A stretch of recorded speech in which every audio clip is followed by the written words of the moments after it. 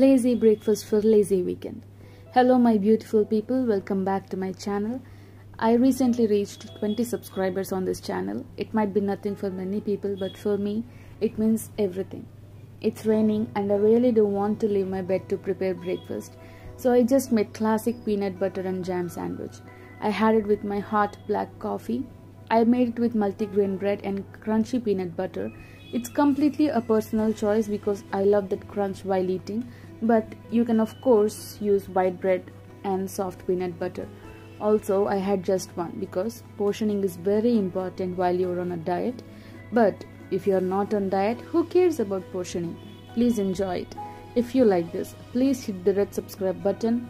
It will help me a lot more than you know.